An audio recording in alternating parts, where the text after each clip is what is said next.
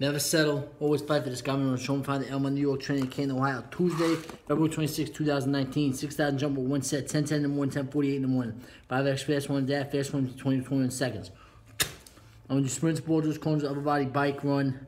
Uh, a lot of treadmill sprints, incline. Uh, and uh, extra ladder drills, ladder drills, and do hundreds tomorrow. See what happens with that. Maybe the stairs tomorrow, too.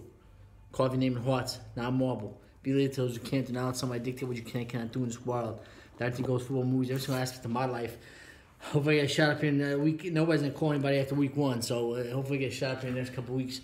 I'll get there play against Green Bay, um, April or May. It means a lot to me, but take it day by day, playing professional games. I don't want to be here in May and June running around with no professional games under me for this year. I played pro, I've done this stuff, um, so get out there and do it. I know here, here, too, means a lot to me. Keep your eyes focused. Focus on what you need to do. Focus on your grind and be humble no matter where you are, no matter where you go.